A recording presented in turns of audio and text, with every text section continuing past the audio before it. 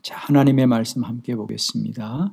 사사기 1장 16절로 21절 믿음을 점검하라. 사사기 1장 16절로 21절의 말씀입니다. 한 절씩 우리 말씀을 교독합니다. 16절 어, 모세 장인은 겐 사람이라 그의 자손이 유다 자손과 함께 종려나무 성읍에서 올라가서 아랏 남방의 유다 항무지에 이르러 그 백성 중에 거주하니라.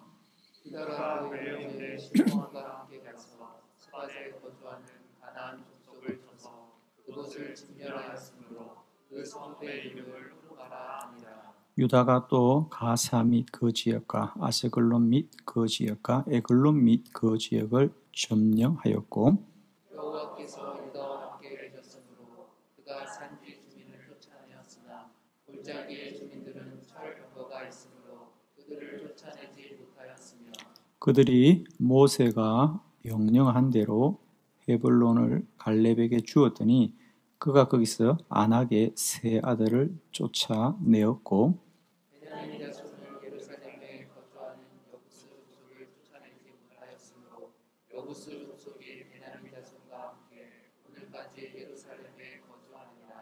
아멘.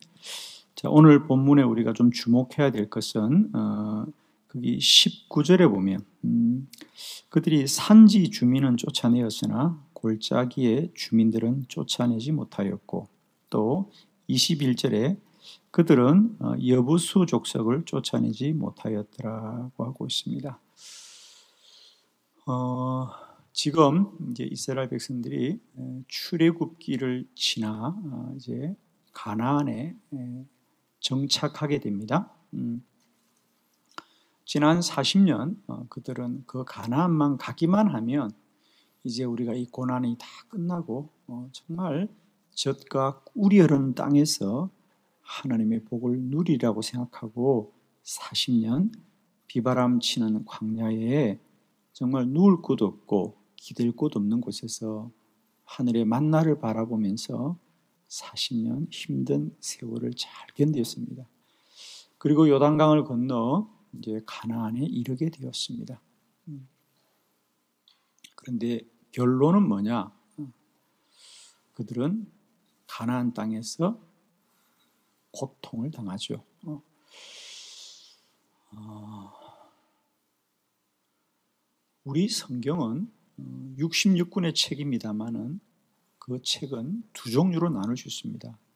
하나는 우리가 본받아야 될 있습니다. 아, 이렇게 살아야 되겠구나. 아, 이렇게 믿어야 되겠구나. 라고 하는 우리가 본받기를, 그죠? 우리의 믿음의 모범이 되는 그런 역사와 또 말씀들이 있고요. 또 하나는 어, 우리에게 반성을 촉구합니다. 이렇게 살지 말아야 한다. 사실 성경은 두 종류예요. 하나는 우리에게 아 이렇게 살아야 되겠다. 이들을 본받아야 되겠다라고 하는 어, 본이 되는 역사와 또 하나는 우리에게 반성을 촉구합니다. 아 이렇게 살면 안 되겠구나. 음. 어, 대표적인 성경이 사사기입니다. 사사기는 어, 이스라엘 백성들이 음, 하나님이 약속한 땅에 그들이 이르렀고 어, 거기에 살았습니다마는 그들은 성경 그대로죠. 어, 그들이 불의하고 하나님이 그들을 심판하고 그들이 다시 하나님께 간구하자 하나님이 다시 그들에게 구원을 베풀어 주는 것이 계속 반복됩니다. 그래서 사사기는 우리에게 반성의 책입니다. 아, 이렇게 살면 안 되겠구나. 이렇게 살면 안 되겠구나.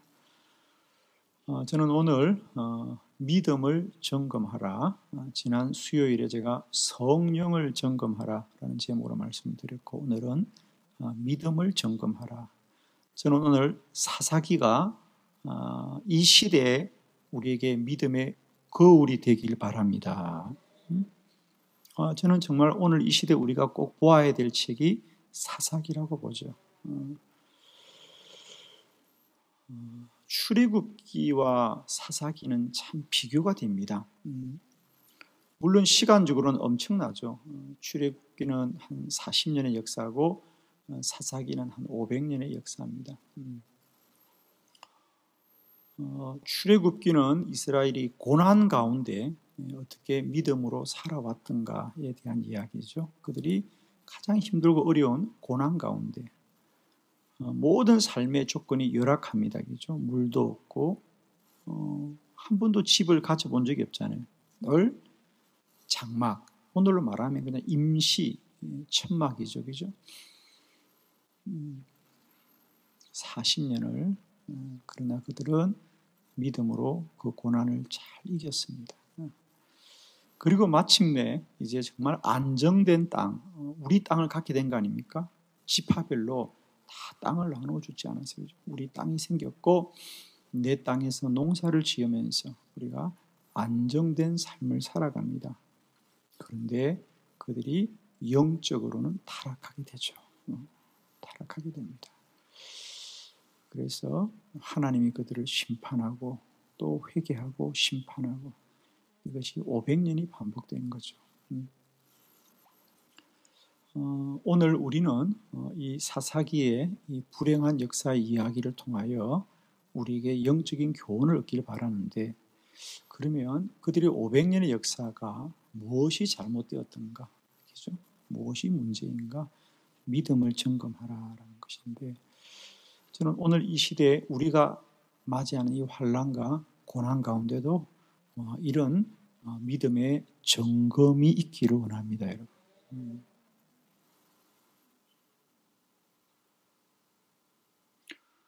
왜 하나님이 약속한 땅에 이르렀음에도 불구하고 하나님의 약속을 누리지 못하고 오히려 그들은 하나님의 심판을 받으면서 눈물의 세월을 살아갔을까? 음? 사사기는 참 안타까운 이야기들로 가득 찹니다. 그죠? 어, 오늘도 마찬가지입니다. 하나님은 분명히 우리를 어, 구원하여 주셨고, 우리를 축복의 사람으로 우리를 택하여 주셨습니다. 저는 정말 축복합니다. 구원받은 자의 영광을 날마다 누리시기를 축원합니다. 약속의 땅에서 고난을 받지 마시고 약속의 땅에서 주의 은혜를 누리시기를 축원합니다.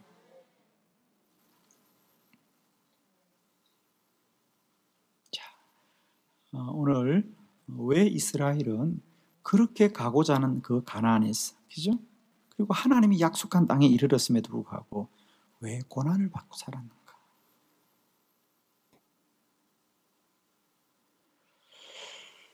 어, 이 사사기는 어, 사무엘 선지자 시대 때 우리가 기록한 것으로 알려지고 있습니다. 그러니까 어, 역사를 되돌아보는 거죠. 어, 되돌아보면서 어, 그 시대를 조명해 보는 거거든요. 오늘날도 우리에게 어, 이 사사기가 우리 믿음의 거울이 되어져서 우리를 비추볼 시길 바라요. 음, 그래서 오늘 우리가 말씀을 통하여 저와 여러분의 믿음이 좀 점검되기를 바랍니다. 왜 그들이 약속의 땅에서 눈물의 세월을 살았던가?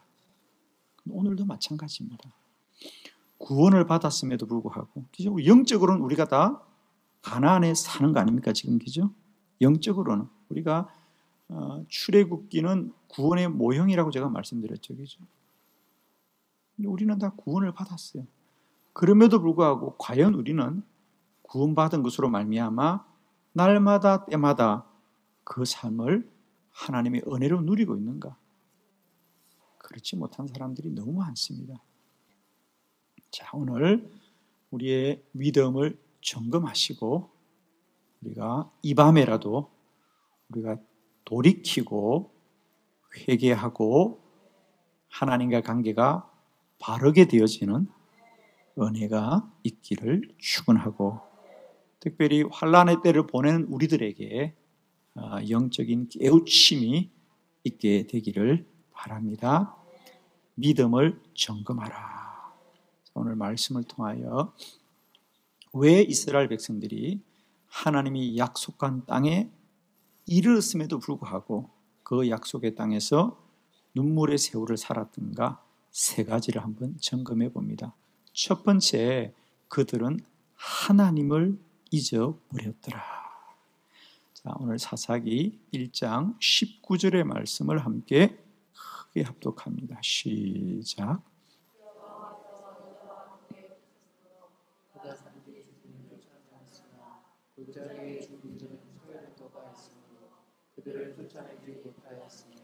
아멘. 이제 유다 지파의 이야기죠. 물론 이스라엘의 열두 지파 이야기가 다 나옵니다만은 이제 이스라엘 백성들이 돌아보니까 결론은 그렇습니다. 이제 사무엘 시대에 그 전에 이 사사들의 역사를 쭉 돌아보니까 가장 큰 문제점이 뭐였느냐? 우리가 처음부터 그 이스라엘 백성들이 가난에 들어갔을 때, 우리 민족이 가난에 들어갔을 때 하나님이 말씀하신 대로 그 이방인의 모든 족속들을 전멸해야 되는데 그걸 진멸하지 못한 거죠. 물론 그때는 그게 뭐 이런 이유로도 봐주고 이런 이유로도 봐주었는데 500년의 역사를 돌아보니 가장 큰 화근은 뭐였느냐? 우리가 하나님의 말씀대로 철저하게 행하지 않고 그 원주민들, 가나안의 원주민들을 진멸시키지 못한 거예요.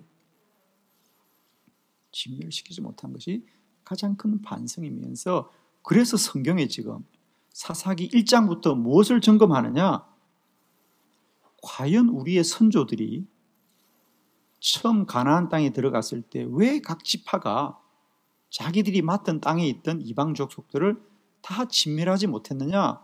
그 이유를 성경이 뭐라고 하느냐면 그 중에 대표적인 지파가 유다 지파입니다. 여러분 기억나십니까? 유다 지파가 앞장서라 그랬잖아요. 그죠? 그런데 그 유다 지파가 오늘 성경에 보니까 산지의 주민들, 자 19절을 보세요. 산지의 주민들은 쫓아내었는데 골짜기 주민들은 쫓아내지 못했더라. 그래서 그들이 계속 남아서 이스라엘을 괴롭히는데 돌아보니까 왜 쫓아내지 못했느냐? 골짜기 주민들은 철병거를 가지고 있었기 때문에 쫓아내지 못하였다라고 말하더라고 하는 거죠. 자, 오늘 우리가 생각할 것은 물론 그들은 야 골짜기 주민들은 이미 철병거를 가지고 있었어. 자, 지금이야 어, 철병거가 뭐 구식입니다만은 여러분 아시죠? 우리 역사를 우리가 석기 시대라 그러잖아요, 그죠? 돌로 살았던 시대가 있어요, 석기 시대. 네. 그래도 우리가 철기 시대가 있잖아요, 그죠? 우리가 인간이 처음부터 철을 사용한 게 아니거든요. 지금이야 뭐 우리가 플라스틱도 사용하고 나노도 사용하고 엄청나게 소재가 발달했습니다만은 인류의 역사 가운데 이 쇠붙이를 사용했다는 것은 얼마나 대단한 역사인지. 그러니까 이스라엘 백성들이 광야를 지나면서 그들은 늘 나무 막대기나 짓고 살았지. 언제 그 철병거를 본 적이 있겠어요? 그러니까 그들이 뭐라고 말을 하느냐? 우리가 골짜기 주민들은 우리가 쫓아낼 수가 없었어. 왜냐하면 그들은 이미 철로 된 병거를 가지고 있었던 거야. 칼도 가지고 있고 창도 가지고 있고 방패도 가지고 있었던 거야. 그러니 우리가 어떻게 이겨? 라는 얘기입니다. 어, 물론 그것이 사실이긴 해요. 사실이긴 하지만 돌아보면 그럼 이스라엘 백성들이 지금까지 모든 전쟁을 그들의 실력으로 이겼고 그들의 힘으로 이겼고 그들의 무기로 이겼는가? 그렇지 않다는 거죠. 여리고 성만 해도 여리고 성이 굳게 닫혔잖아. 그들은 오직 주의 말씀을 따라 순종함으로 하나님이 성을 무너뜨렸고 다 그렇게 이겨온 거예요. 그들이 한 건 칼과 창을 가지고 싸워 이긴 것이 아니라 하나님을 믿고 순종할 때에 하나님이 싸워 주신 것이.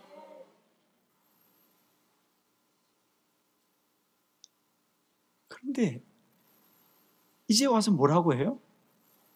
골짜기 주민들을 왜 내쫓지 못했느냐? 그들이 너무 강하더라는 거예요. 그들이 이미 철병거를 가지고 있더라는 거예요. 그게 사실이긴 하지만은 이런 말을 하는 순간 그들은 이미 하나님을 잊어버린 거예요. 이 말을 하는 순간 이제 그들은 가는 데마다 이기고 성공하니까 마치 자기들이 한 것처럼 착각을 하는 겁니다. 그들이 차라리 우리가 하나님께 순종하지 못하였다고 말하면 얼마나 다행스럽겠어요. 그런데 그들이 철병거를 가지고 있어서 이기지 못했다는 거예요. 그럼 지금까지 전쟁은 과연 그들이 이겼는가? 아닙니다. 하나님이 하신 거지. 첫 번째, 우리가 많은 문제를 당할 때마다 점검해야 될 것. 하나님을 기억해야 됩니다.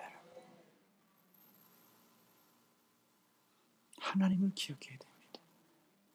그런데 우리가 가난하고 부족하고 모자라고 고난 중에 있을 때는 누구나 하나님을 의지합니다. 그러나 조금만 배부르고 조금만 안정되고 조금만 자기 힘이 생기면 금방 하나님을 잊어버려요. 다 자기가 한 것 같고 내가 한 것 같고 우리가 한 것 같은 우리가 이 시대에 가장 먼저 점검해야 될 것, 하나님을 기억해야 됩니다. 하나님을 기억해야 됩니다.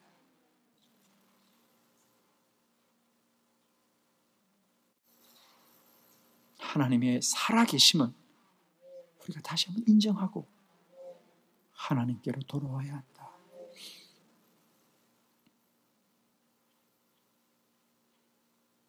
그들은 유다 족속이 골짜기의 주민들을 이기지 못한 이유를 그들이 너무 강한 족속이더라. 그들이 철병거를 가지고 이겨서 이기지 못했다? 그건 이미 그들이 하나님을 잊어버린 거예요. 우리가 싸워 이겨야 되는데 우리가 이길 수 없어서 그들을 그냥 두었다는 거 아닙니까? 자기들도 모르게 자기 힘이 생기고 자기의 업적이 쌓이면 우리도 모르게 하나님을 잃게 되는 거예요. 고난 중에는 누구나 하나님을 믿습니다. 그 고난을 지나고 풍족해지고 여유로워지고 안정화되면 가장 먼저 우리가 하나님을 잊어버리기가 참 쉽습니다. 오늘 이 시대에 우리가 가장 먼저 점검해야 될 믿음, 하나님을 기억해야 됩니다. 오늘 우리가 여기까지 어떻게 왔는지, 우리의 삶이 무엇으로 왔는지, 우리가 잊어버리면 안 됩니다. 하나님을 기억해야 됩니다. 자, 신명기 8장 11절로 14절입니다. 어, 모세의 간곡한 부탁이죠. 신명기 자, 8장 11절 14절 한번 교독해 봅니다. 내가 오늘 네게 명하는 여호와의 명령과 법도와 규례를 지키지 아니하고 내 하나님 여호와를 잊어버리지 않도록 삼가지어다.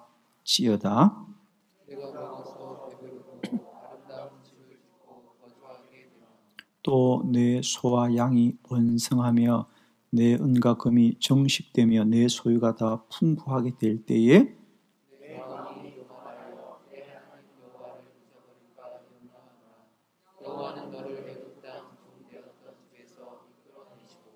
아멘 할렐루야 여호와의 말씀입니다.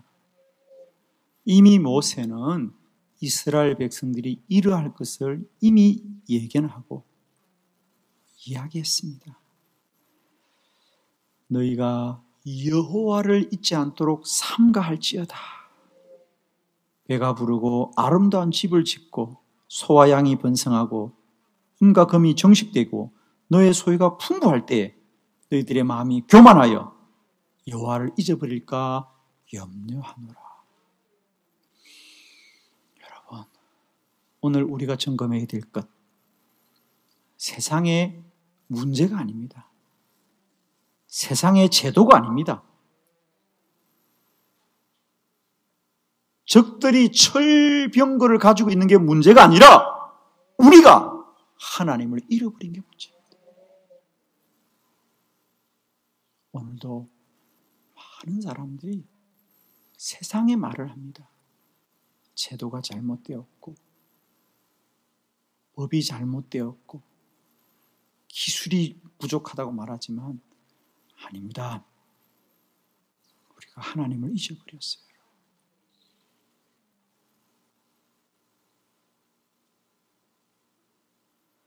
다시 한번 우리가 하나님께로 돌아와야 됩니다. 여러분, 대한민국 국회가 처음 개원할 때 이 나라 국회는 하나님 앞에 기도하고 개원한 국회입니다. 하나님 앞에 선서하고 개헌한 국회가 대한민국 국회입니다. 그런데 지금 대한민국 국회 어디에 아무도 하나님의 얘기를 안 합니다.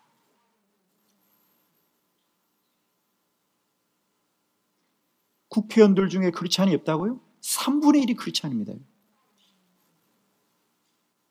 대한민국 국의 3분의 1 이상이 크리스찬임에 들어가고도 아무도 하나님 얘기 안 해요. 단 한 사람이라도 우리가 엎드려 기도하자고 얘기해야 되는데.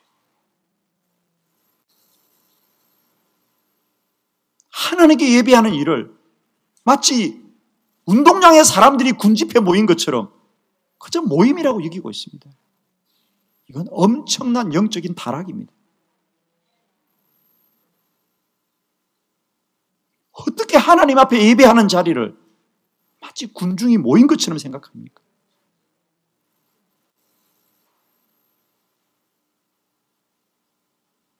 지금 우리는 하나님을 기억해야 됩니다. 우리가 그동안 너무 방자하고 너무 배부르고 너무 풍족하여서 이 모든 것을 마치 우리가 이루냐 하나님을 잊어버렸어요. 지금 우리는 다른 무엇보다도 하나님을 기억해야 된다.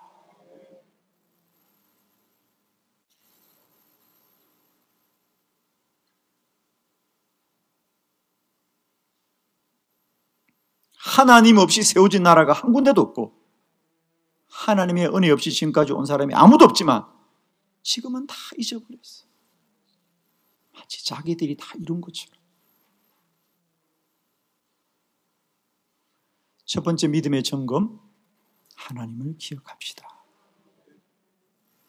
지금은 하나님을 꼭 기억하시기 바랍니다. 특별히 이번 한 주간 우리가 고난 주간을 보내는데 주님을 기억하시기 바랍니다. 오늘 우리의 우된 것은 우리가 된 것이 아니고 주님이 십자가 못 박혀 우리의 죄를 대속하심으로 말미암아 우리가 구원에 이른 줄로 믿습니다. 다시 한번 주님의 십자가 고난을 꼭 기억하시고 우리 구원의 은혜가 회복되는 우리 고난 주간이 되기를 축복합니다. 두 번째 우리가 점검해야 될 것. 그들은 편안한 생활에 안주하였습니다. 사사기 1장 27절로 28절을 교독합니다. 27절 머나세가 베스안과 그에 딸린 마을들의 주민과 다냐과 그에 딸린 마을의 주민과 돌과 그에 딸린 마을들의 주민과 이블르함과 그에 딸린 마을의 주민과 머기또와 그에 딸린 마을의 주민들을 쫓아내지 못함에 가난 족속이 결심하고 그 땅에 거주하였더니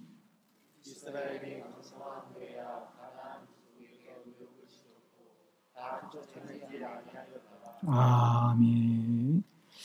그들을 쫓아내지 못하자 결국 그들을 어떻게 했나? 노역을 시켰더라. 그러니까 처음에는 그들을 이런 이유 저런 이유로 쫓아내지 못했습니다. 그러자 그들에게 그럼 이왕 이렇게 된 거 너희들이 우리 종살이는 해라.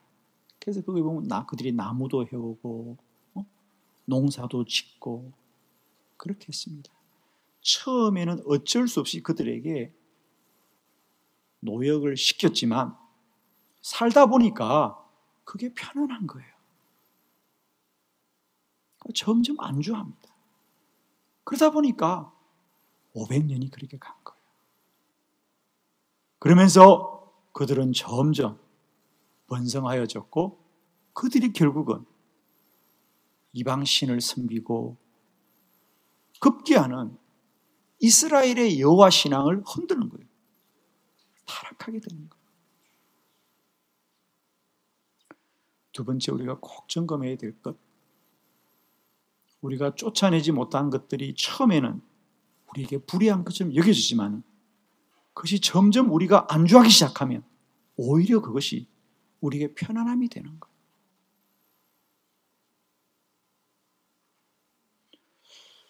저는 오늘 이 시대에 우리가 점점 편리한 문화에 익숙합니다. 점점 편리하게 살아가는데 이것이 마침내 우리에게 이 편리함이 하나님에 대한 믿음까지 잃어버릴까 염려합니다. 축복합니다. 오늘 이 시대에 우리가 다시 사는 길은 뭐냐? 좀 불편하게 살자. 아멘. 좀 불편하게 삽시다. 제발 부탁합니다. 저는 편리한 건 유혹이라고 봅니다. 편리한 건 유혹입니다. 불편하게 사는 게 사는 길입니다. 여러분의 삶의 기준이 있다면 편리하고 불편한 게 있으면 무조건 불편한 쪽으로 가십시오. 왜 아멘 안 해? 아멘. 그게 사는 길이에요. 하여튼 편리한 것은 우리를 점점 타락의 길로 이끌어갑니다.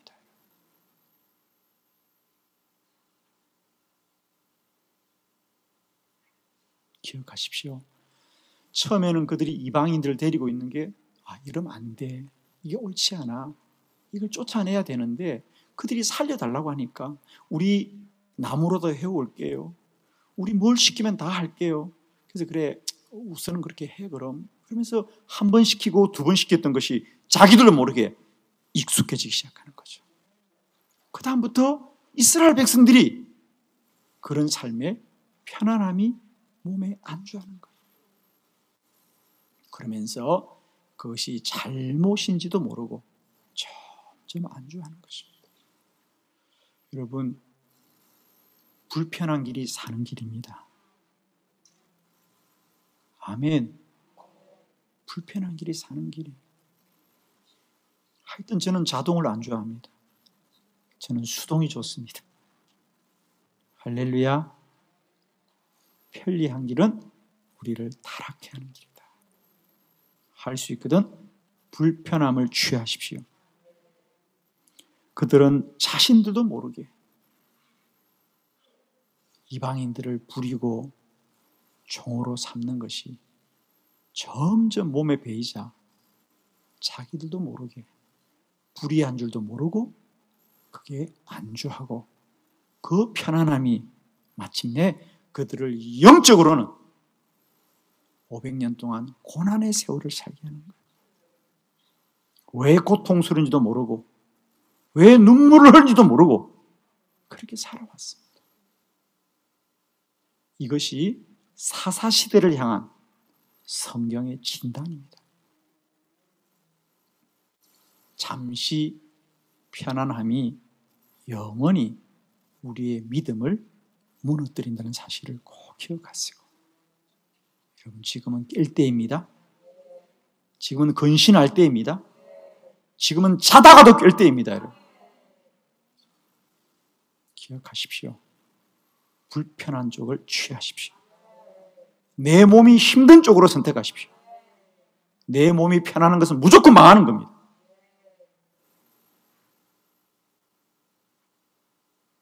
이렇게 하면 내 몸이 편하다? 그건 내 영을 죽이는 길이에요. 불편한 척을 취하십시오.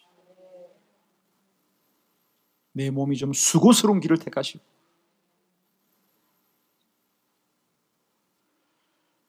오늘 이 시대에 편리함은 우리 영적인 삶의 가장 큰 시험이요 유혹입니다. 불편한 것이 사는 길이다. 몸이 조금 힘든 길이 사는 길이고 내가 조금 더 수고하는 길이 사는 길입니다. 육신의 편안함과 편리함을 다시 한번 여러분 점검하시고 우리의 삶이 늘 주님 앞에 말씀의 기준을 따를 수 있게 되기를 바랍니다.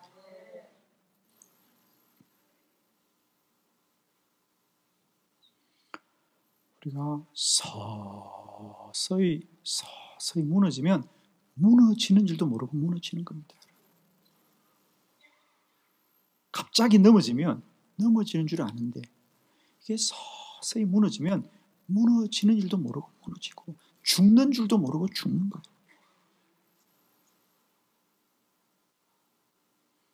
개구리 한 마리를 뜨거운 물에 여면 펄쩍 끄고 뛰어나옵니다.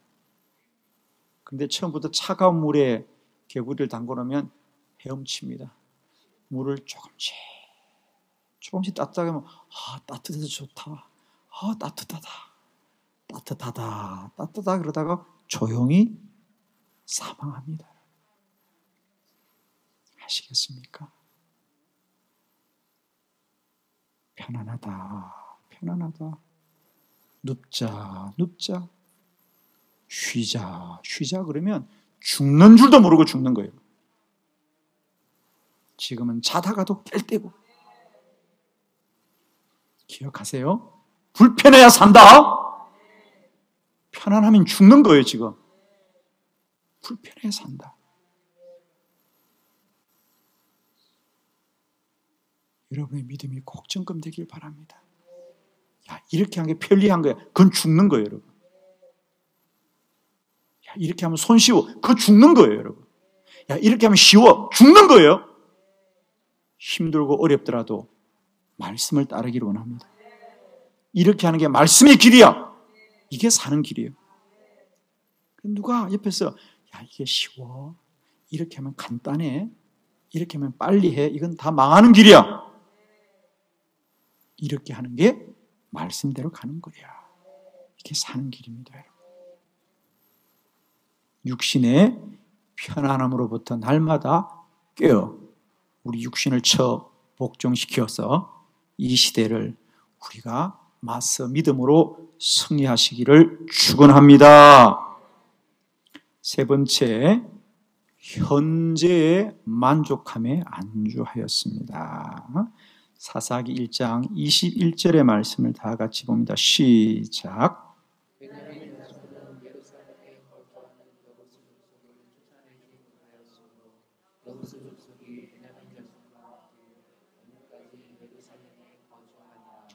아멘.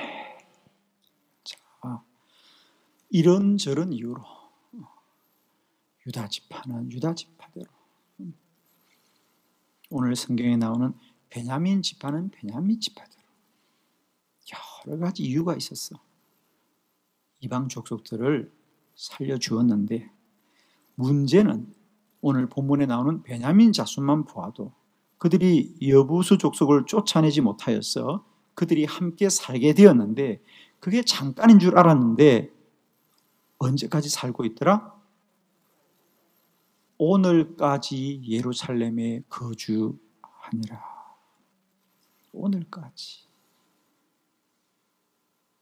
사사기 500년입니다. 하루 이틀이면 한두 해면 끝날 줄 알았던 그 이방인들의 역사가 500년을 계속합니다. 오늘을 바꾸지 않으면 우리의 미래도 달라지지 않습니다.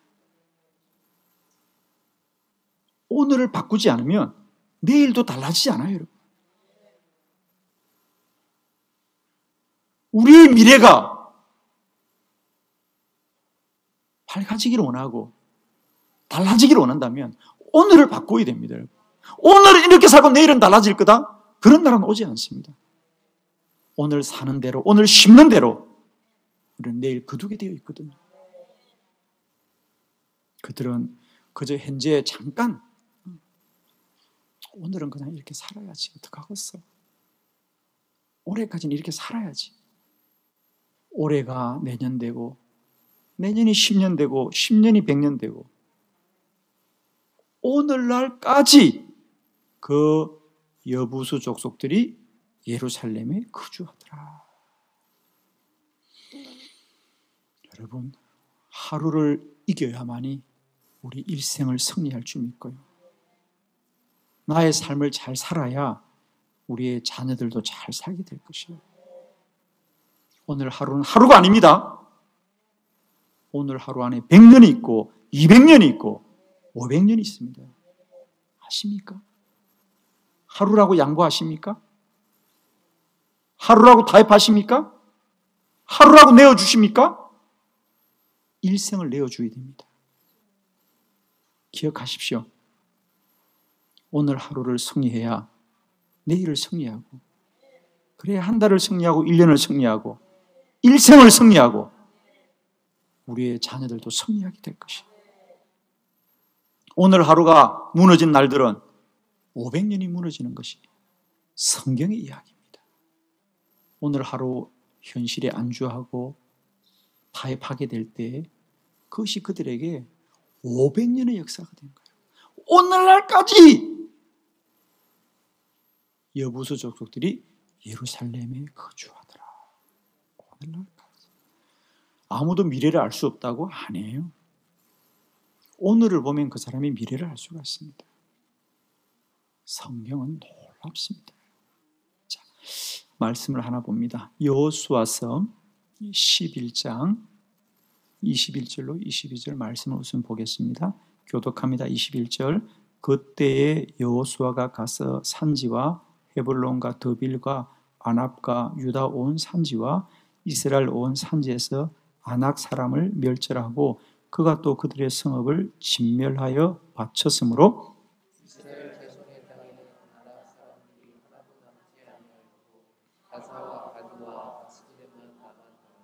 아멘. 이게 성경이에요. 앞줄을 보세요. 얼마나 화려합니까? 야, 헤블론 산지와 드빌과 아낙과 유다 온 산지와 아낙 사람을 멸절하고 그 성읍을 다 진멸하였더라. 22절 이스라엘 자손의 땅에는 아락 사람들이 하나도 남지 아니하였고 다만 가사와 가드와 아스도네만 조금 남았더라. 근데 문제는 조금 남은 그것이 이스라엘 역사에 어떻게 부멜랑이 되어 돌아오는가? 성경은 놓치지 않습니다. 마치 이 본문을 보면 아 여호수아가 잘 살았구나. 야 이스라엘 백성들이 다 물려쳤구나. 그래 개우 가사 가드 아스로만 좀 남았네. 여러분 기억하세요. 말씀은 완전한 순종이요 온전한 믿음이 되어야 될 줄 믿습니다. 우리는 우리가 하는 거창한 일들만 보지 마시고요. 아직도 내 안에 부족한 것을 꼭 살펴야 됩니다. 이 가사와 가드와 이 아스옷에 남겨진 사람들이 어떻게 이스라엘의 부멜랑으로 돌아오는가? 첫 번째 말씀 사사기 16장 1절입니다. 다 같이 시작.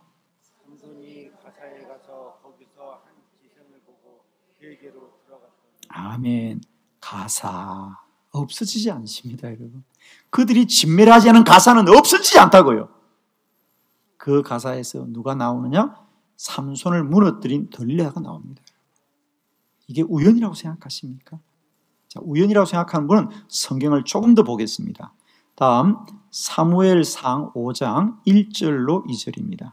교독합니다. 1절 블레셋 사람들이 하나님의 교회를 빼앗아 가지고 에벤에셀로부터 아스도세 이르니라 블레셋 사람들이 하나님의 교회를 가지고 아군의 신전에 들어가서 하나님 곁에 두었더니 아 여러분 그들이 그냥 우습게 남겨두던 그 아스돈이 결국 어떤 땅이 되었습니까? 다곤 신전을 섬기고 하나님을 거역하는 도성이 된 거 아닙니까? 아멘! 그들은 그냥 가볍게 생각하고 작은 것이라고 생각했는데 그 작은 것이 마귀와 우상의 중심이 되는 거예요, 여러분. 우연입니까? 가사가 우연이고 아스도시 우연이십니까? 그럼 가드를 보세요. 사무엘상 17장 4절입니다. 다 같이 시작.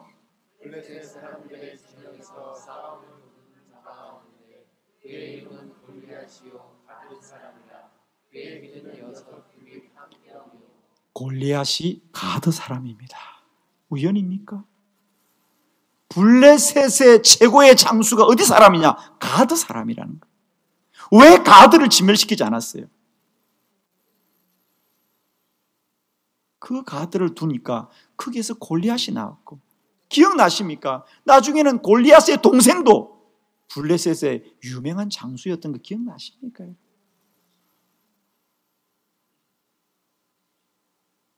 저는 다시 한번 우리가 남겨둔 가사와 가드와 아스다롯을 꼭 기억하셔야 됩니다.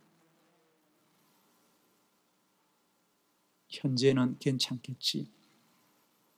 지나가면 그만이겠지. 지나가면 그만은 역사는 없습니다. 그대로 새겨지고 그대로 열매 맺게 되어 있습니다. 저는 축복합니다. 현재 안주하지 마시고 아무리 힘들고 어렵더라도 오늘을 바로 세워야 나의 미래가 복된 것입니다. 오늘 하루는 하루만 넘어지는 것이 아닙니다. 오늘 잘못 살아온 하루는 없어지는 게 아닙니다. 그대로 새겨집니다. 오늘 믿음을 점검하라. 하나님을 다시 기억합시다. 육신의 삶의 편안함을 거부하시고 불편함으로 말씀 가운데 바로 서기를 축복하고 오늘 하루를 현재를 하루하루를 믿음으로 바르게 사는 길이 우리의 미래를 복되게 맞이하는 길입니다. 오늘 하루라고 소홀히 여기지 마시고 나날 하루하루를 매일매일을 일상을 성실하게 믿음으로 살아갈 때에 우리의 미래가 주님 안에 날마다 때마다 축복된 날들로 열매 맺을 줄 믿습니다. 기도드리겠습니다.